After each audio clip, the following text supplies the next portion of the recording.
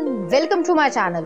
तो आज के टैरो रीडिंग का टॉपिक है who is secretly in love with you कौन जो है सीक्रेटली आपको एडमायर करता है या लव करता है या उनकी किस तरीके की फीलिंग्स है थॉट्स हैं।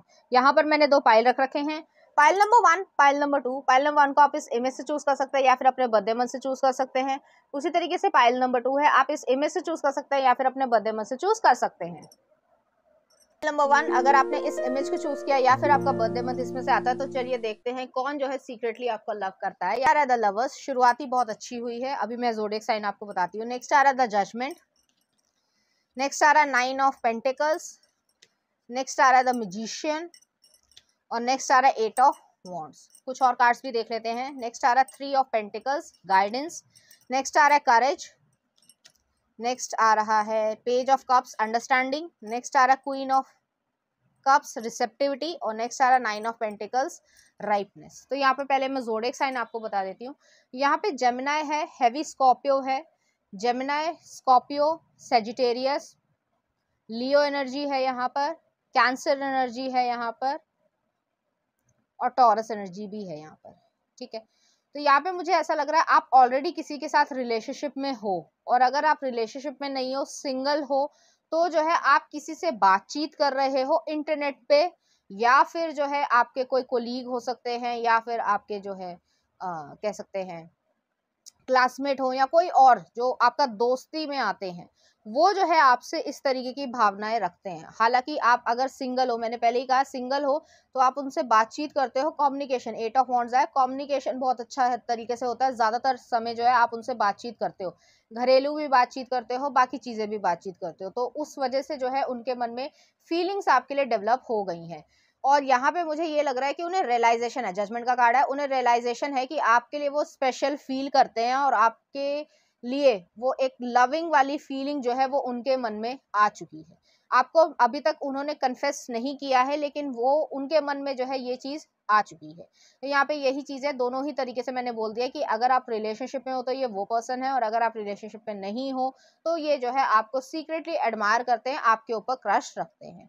उनकी फीलिंग्स ये है कि वो जो है आपके साथ एक लवर की तरीके से उनको मन में ये चीज़ है, जैसे कि ब्यूटी विद द बीस्ट आई है तो उन्हें ऐसा लगता है कि आप उनसे लाख गुना बेहतर हो। अब वो किसी भी सेंस में हो सकता है ब्यूटी मतलब फ़िज़िकल सेंस में हो सकता है वेल्थ वाइज हो सकता है, दिमाग की तरीके से हो सकता है डिसीज़न मेकिंग हो सकती है करेज हो सकता है, बहुत कुछ है। तो उस वजह से जो है वो आपको एक हाई पेडेस्टल पे देखते हैं। ऐसा नहीं है कि उनमें कोई कमी है, लेकिन वो अपने आप को थोड़ा पीछे ही रखते हैं और आपको जो है वो आगे ज़्यादा देखते हैं। आप में लीडरशिप क्वालिटी है, क्योंकि करेज का कार्ड आया है यहाँ पे। लीडरशिप क्वालिटी है, आप ज़िंदगी में जो भी चाहते हो, वो मैनिफेस्ट करना या ज़िंदगी को बनाना या जैसे भी हर इंसान की इच्छाएँ होती है, मेरे पास ये भी हो, ये भी हो, ये भी हो तो आप क्रिएट करते जाते हो।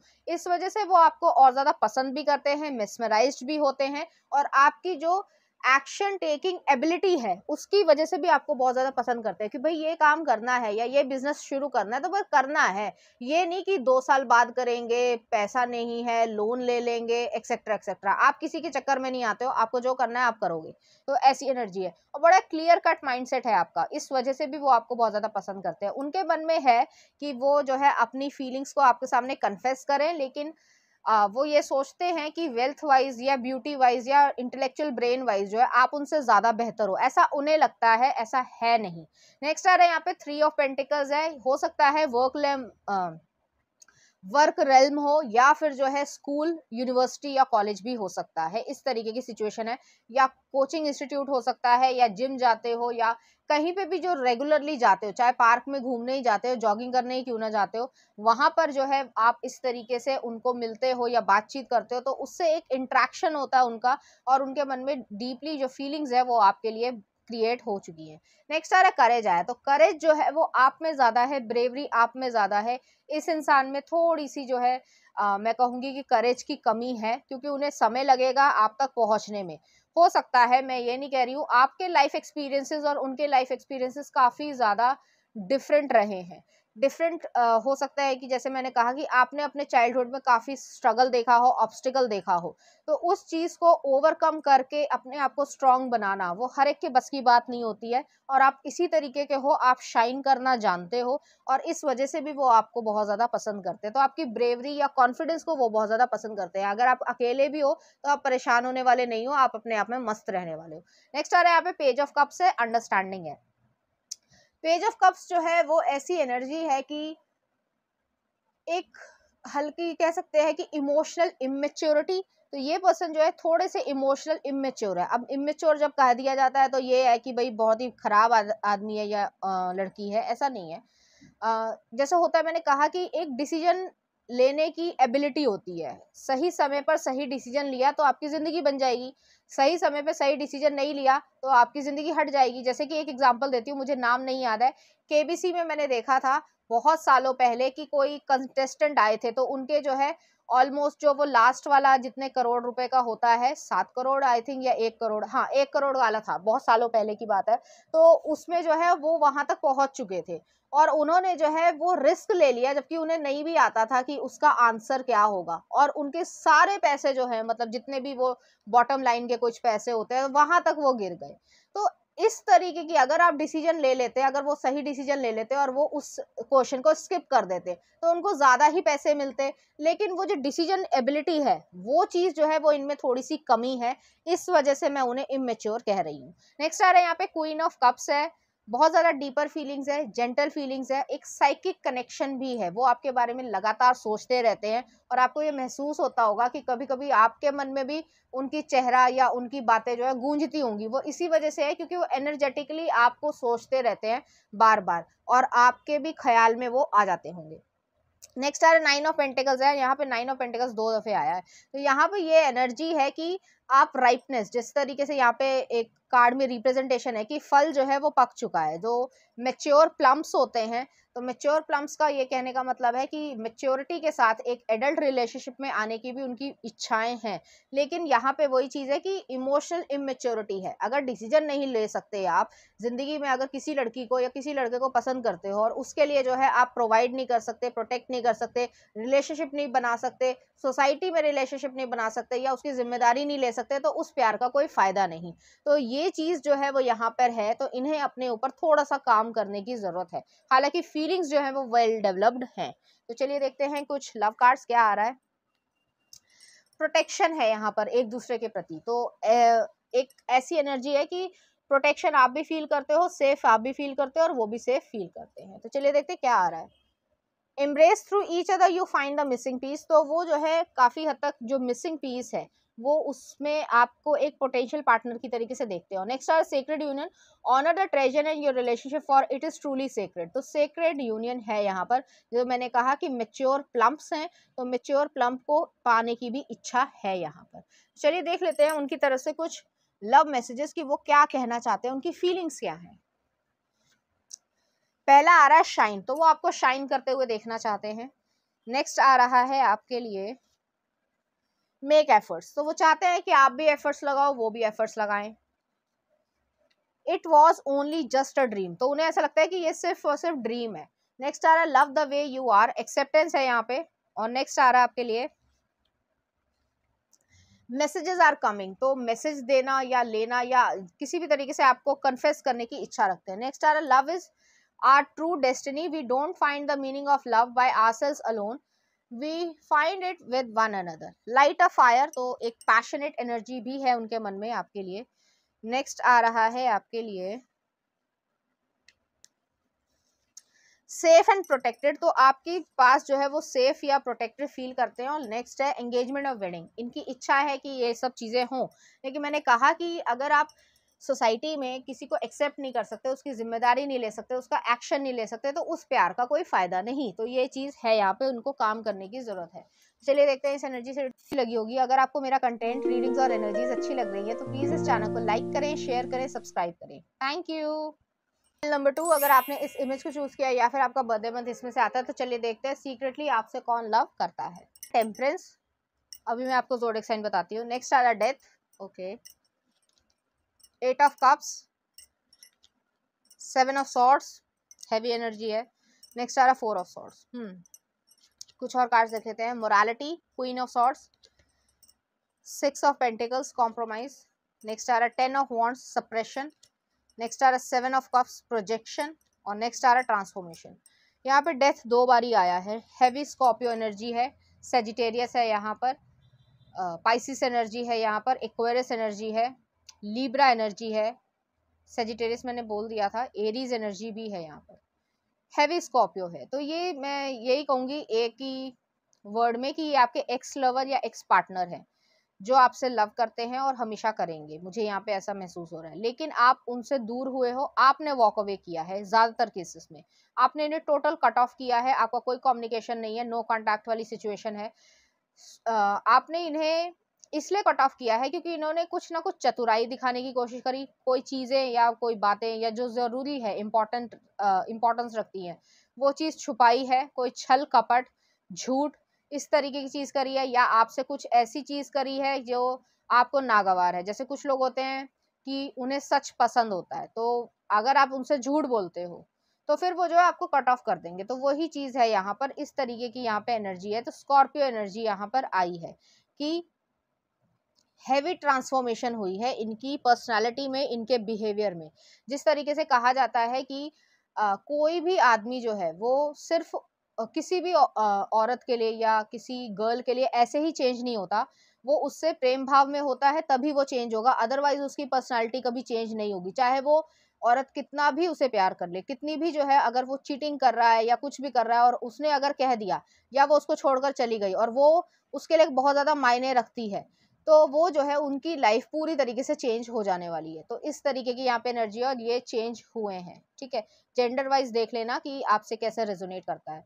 आपने इन्हें कट ऑफ़ इसलिए किया क्योंकि वे बैलेंस नहीं दिखा रहे थे। आप शायद इनसे कमिटमेंट मांग रहे थे या आप इनसे सच्चाई मांग रहे थे, लेकिन वो झूठ बोल रहे थे या आपके साथ कोई गेम प्लान खेल रहे थे या कैजुअल तरीके का एक रिलेशनशिप रखना चाहते थे या कह सकते हैं फ्रेंड्स विद बेनिफिट वाली सिचुएशन थी। और आपका ये था कि भाई मैं ये नहीं कर सकती या ये नहीं कर सकता, जो भी आपका जेंडर हो, और मैं जो हूँ यहाँ से जा रहा हूँ या जा रही हूँ। और इस तरीके की एनर्जी है, क्योंकि मैं ये डिजर्व नहीं करता। तो आपको अपनी वर्थ पता थी। इन्होंने जो है, उस समय सही एक्शन नहीं लिया। आपको रोकने की कोशिश नहीं करी। ईगो रखी कि जाती है तो जाए, मुझे कोई फ़र्क नहीं पड़ता।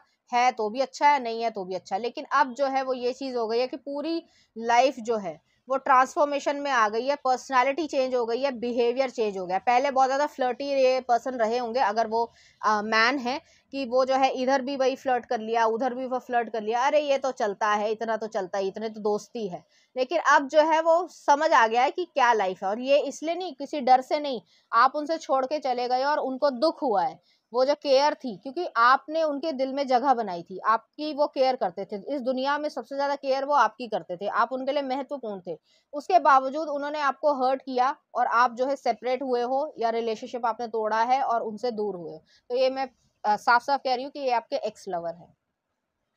यहाँ पे वो हीलिंग चाहते हैं फोर ऑफ़ सॉर्ट्स वाली एनर्जी है। तो वो हारमोनी चाहते हैं, जितनी भी लड़ाई झगड़ा हुआ है या जो भी एंडिंग रही हो ब्रेकअप बहुत ज़्यादा बैड तरीके का रहा हो, बहुत लड़ाई हुई होगी वर्बली भी इवन फिजिकली भी हो सकती है। आप दोनों में नहीं, किसी और की पिटाई हो गई हो, क्योंकि वो जो है ज़्यादा मज़े लेने की कोशिश कर रहा है तो उस तरीके से यहाँ पे एनर्जी है। और मुझे ऐसा लग रहा है कि पहले ये कंफ्यूज थे। ऐसा नहीं था कि उनको ये नहीं पता था कि वो आपसे लव करते हैं या नहीं। प्यार था, प्यार है, रहेगा। लेकिन एक्शन नहीं लिया है। वो चीज़ जो बार बार बातें हैं, वो कॉन्वर्जेशन को रिपीट करना एक दूसरे को आपको हर्टफुल बातें कहना, जो वो मीन भी नहीं कर रहे हैं कि मतलब ऐसा होता है कि जैसे चार पाँच सुना दी, बेफालतू में सुना दी माँ बाप को भी घसीट लिया, लेकिन उस चीज़ का कोई मतलब था नहीं। तो वो चीज़ यहाँ पे करिए बड़ी इमेच्योर एनर्जी आ रही है और आपने टोटल कट ऑफ़ कर दिया है, कोई कोई ना शॉर्ट्स वाली एनर्जी है, आपको मालूम है आपकी क्या वर्थ है, वो आपको पहले भी पता थी। तो इस वजह से जो है, एक पेनफुल कंडीशन उन्होंने खुद अपने लिए क्रिएट करी है। यहाँ पे सिक्स ऑफ़ पेंटिकल्स भी आया है। आपने उनकी केयर करी एफर्ट्स डाले, सब कुछ करा और उन्होंने जो है वापस में कुछ किया ही नहीं या करना नहीं चाहा या कर भी दिया तो थोड़ा बहुत कर दिया। आज अच्छा लग रहा है, कल जो है बात ही नहीं करनी। तो एक पोशन पुल वाली एनर्जी है हॉट एंड कोल्ड एनर्जी है विशी वॉशी एनर्जी है। तो वो चीज़ है यहाँ पे कि आज तो केयर कर दी और कल जो है पहचानने से इनकार कर दिया। भाई, मैं तो तुम्हारे लिए कुछ मायने नहीं रखता या तुम तो मेरे लिए मायने नहीं रखते, मुझे कोई फ़र्क नहीं पड़ता, तुम्हारे जैसे जो है छत्तीस लोग मिलते हैं। तो ये जो एटीट्यूड था, इस वजह से आपने जो है इन्हें छोड़ा होगा। और ये जो एटीट्यूड है, वो इनके सिर पे, इनकी पर्सनालिटी पे बहुत भारी पड़ा है। और टेन ऑफ़ वॉन्ट्स वाली एनर्जी है, अपने आप को ही एक तरीके से जैसे अब शायद मिल्खा सिंह आपने देखी हो तो उसमें कोई सीन था? मुझे एग्जैक्टली याद नहीं है कि क्या सीन था उसमें। उसमें यह था कि मिल्खा सिंह जो फरहान अख्तर बने हैं, वो अपने आप को चार पाँच चाटे मारते हैं शीशे के सामने।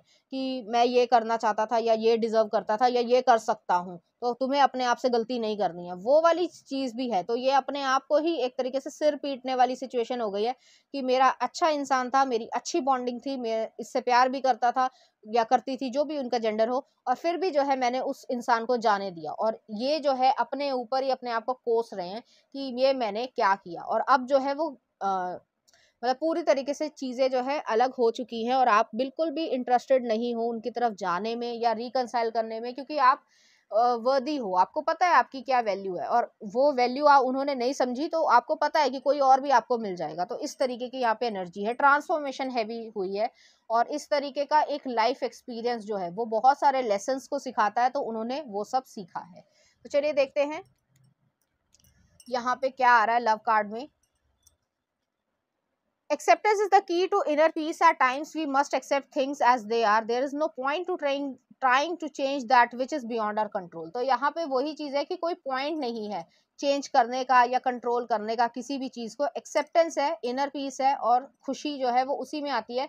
अब वो एक्सेप्ट करने के अलावा उनके पास कोई चारा नहीं है कि वो जो है आपको खो चुके हैं। नेक्स्ट आ रहा है it is important right now to take a step back and spend some time alone instead of placing your focus on another now is the time to give to yourself तो यहाँ पे यही चीज़ है कि अपने आप को, आपको टाइम देना है और उन्हें भी जो है अपने आप को टाइम देना चाहिए। तो चलिए देखते हैं, उनकी तरफ़ से कुछ मैसेजेस देख लेते हैं।